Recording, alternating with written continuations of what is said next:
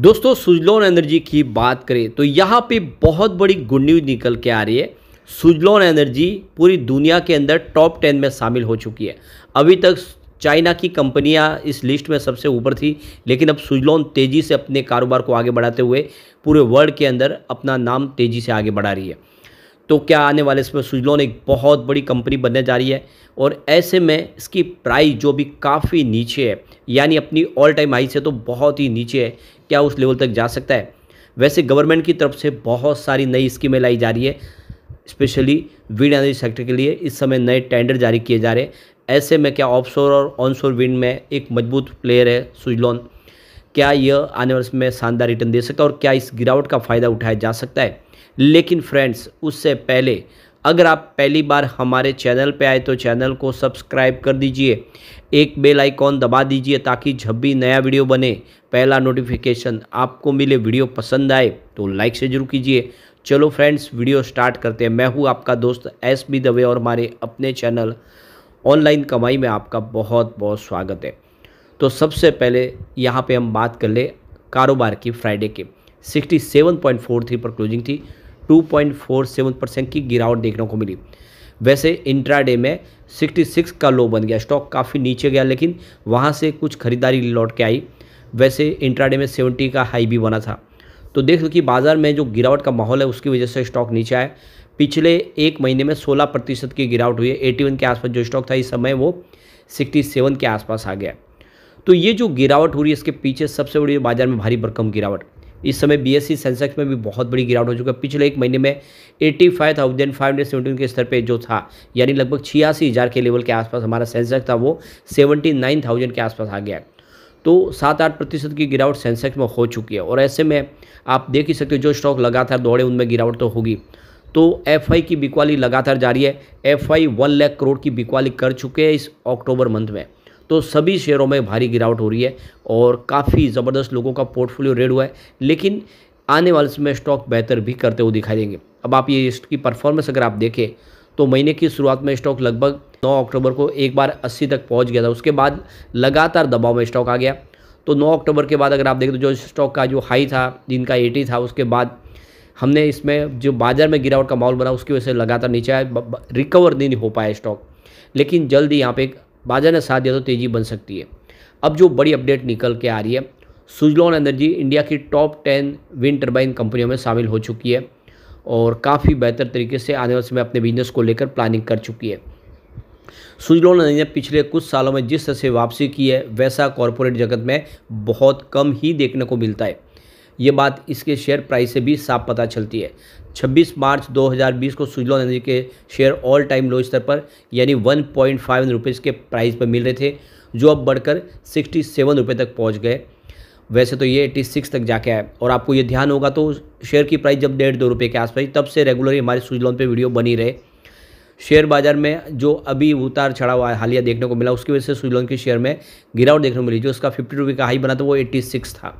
उस लेवल से बाईस प्रतिशत की इसमें गिरावट हो चुकी है।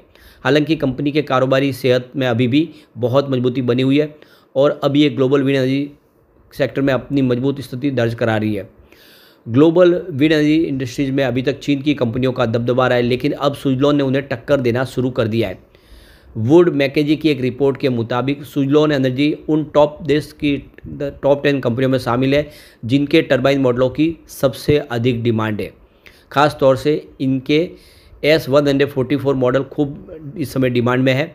दिलचस्प बात यह है कि सुजलॉन इस लिस्ट में इकलौती गैर चीनी कंपनी है। यानी S one hundred forty four model सिर्फ़ चाइना की कंपनियाँ ही बनाती है, उसके अलावा सिर्फ़ सुजलॉन है।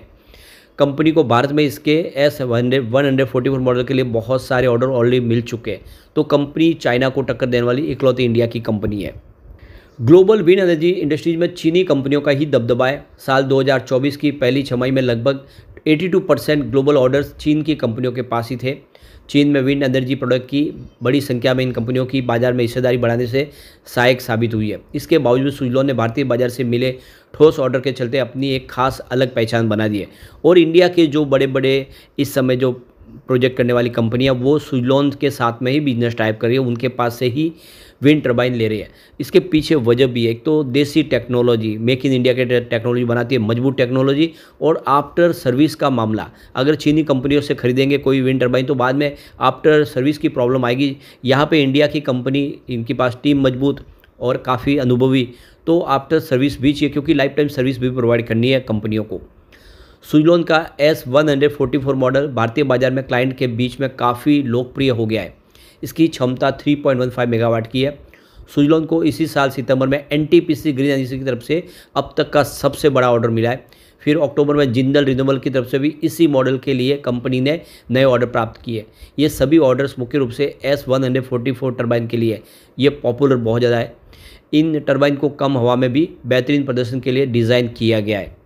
कंपनी के पास इस समय लगभग 5.4 गीगावाट के ऑर्डर बुक है, जिसमें एक बड़ा हिस्सा आप देखिए S one hundred forty four model का है तो काफ़ी ज़बरदस्त ऑर्डर बुक है। और यहाँ पे ग्लोबल मार्केट में काफ़ी संभावना है। S one hundred forty four की बढ़ती सफलता के चलते सुजलोन के लिए ग्लोबल मार्केट में अपनी पकड़ बनाने के नए मौके खुल सकते हैं। इस मॉडल की कम लागत की वजह से अंतर्राष्ट्रीय बाज़ार में इसका एक आकर्षक विकल्प बन के उभर सकते हैं सुजलॉन खासकर जब नई तकनीक और बड़ी क्षमता वाले टर्बाइनों की मांग बढ़ रही है। हालाँकि चीन की कंपनियाँ अधिक क्षमता वाले, यानी फाइव से लेकर सेवन मेगावाट के टर्बाइन बेच रही है। ऐसे में सुजलॉन को भी ग्लोबल मार्केट में कंपटीशन बने रहने के लिए अपनी तकनीक में निवेश करना होगा और अपनी साइज़ को बढ़ाना होगा। तो ये सुजलॉन के लिए बड़ी बात है। आप देख सकते हो कि सुजलॉन लगातार कोशिश भी कर रही है और इसके नतीजे भी देखने को मिल रहे हैं। तो शेयर की जो प्राइस गिरी है, इसके पीछे सबसे बड़ी रीज़न है बाज़ार में गिरावट का माहौल। और ऐसे में लोग प्रॉफिट बुक करते ही है। स्पेशली जो बड़े फंड हाउस होते हैं, वो प्रॉफिट बुक करते हैं। एफआई इस समय बाज़ार से पैसे निकाल रहे तो उनका थोड़ा निवेश तो सुई लोन से भी निकलेगा क्योंकि सुई लोन काफ़ी ज़्यादा दौड़ा है। लेकिन सरकार का पूरा सपोर्ट मिलता है। सरकार ने यहाँ पे कुछ नई पॉलिसी लाई है, जिसका फ़ायदा आने वाले इसमें सुई लोन को मिलेगा।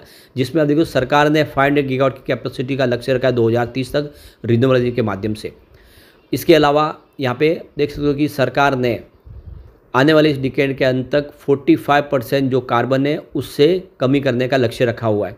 इसके अलावा 2070 तक नेट ज़ीरो कार्बन पे जाने का लक्ष्य रखा गया है। पूरी तरह से रिन्यूएबल के ही इस्तेमाल होगा। और 2030 तक के लिए 5 मिलियन टन्स पर एनुअल ग्रीन हाइड्रोजन के निर्माण का लक्ष्य रखा गया है। और ग्रीन हाइड्रोजन को बनाने में सोलर और विंड का ही योगदान होगा। इसके अलावा सोलर पार्क बनाए जा रहे करीब 50 सोलर पार्क बनाए जा रहे हैं, जिसकी टोटल कैपेसिटी 37.49 गीगावाट के आसपास है। ऑफशोर विंड के प्लान है 30 गीगावाट के ऑफशोर विंड प्रोजेक्ट 2030 तक लाए जाएँगे, जिसमें सुजलोन को बहुत सारा बेनिफिट हो सकता है। इसके अलावा प्रोडक्शन लिंक स्कीम यानी पीएलआई स्कीम का भी फ़ायदा दिया जा रहा है। सोलर पीवी मॉडल्स और दूसरे और प्रोडक्ट के ऊपर सेल बैटरीज के ऊपर ग्रीन हाइड्रोजन के ऊपर सरकार पीएलआई स्कीम का बेनिफिट दे रही है। तो ये सारी जो स्कीम है, इसका फ़ायदा आने वाले इसमें सुई लोन को भी मिलेगा। इसके अलावा सरकार ने कुछ और बड़े शानदार फैसले जिसमें 100 परसेंट फॉरन डायरेक्ट इन्वेस्टमेंट को मंजूरी दे दी गई सोलर एनर्जी के लिए। और इसके अलावा आईएसटीएस जो चार्जेस लगते हैं इंटर स्टेट ट्रांसमिशन चार्जेस, उसको भी माफ़ कर दिया गया है सोलर और विंड पावर के लिए, जिससे इन कंपनियों को बेनिफिट मिल रहा है। सरकार बहुत सारी नई पॉलिसियाँ ला रही है, जिससे आने वाले समय सुज लोन को फ़ायदा हो सकता है। तो ऐसे में आप लॉन्ग टर्म इन्वेस्टर तो ये एक अच्छा मौका है स्टॉक नीचे आया, खरीदारी कर सकते हैं। परंतु अभी भी बाज़ार में नरमी है शॉर्ट टर्म इन्वेस्टर के लिए तो अभी बाज़ार में वेट एंड वॉच की स्थिति है, क्योंकि बाज़ार अभी भी दबाव में जब तक ये भारी भरकम बिकवाली बिके नहीं शुरू रहेगी, तब तक शेयर की प्राइस और नीचे आ सकती है। और आने वाले समय जब बाज़ार में स्टेबिलिटी आए, तब खरीदारी के बारे में सोचा जा सकता है। लेकिन फ्रेंड्स कोई भी इन्वेस्टमेंट करने से पहले अपने फाइनेंशियल एडवाइजर से एडवाइस ले ले या अपना खुद का रिसर्च करें, क्योंकि मैंने वीडियो आपके एजुकेशनल पर्पज़ के लिए ही बनाए। वीडियो पसंद आए तो लाइक शेयर ज़रूर कीजिए और चैनल को सब्सक्राइब कर दीजिए। Thank you friends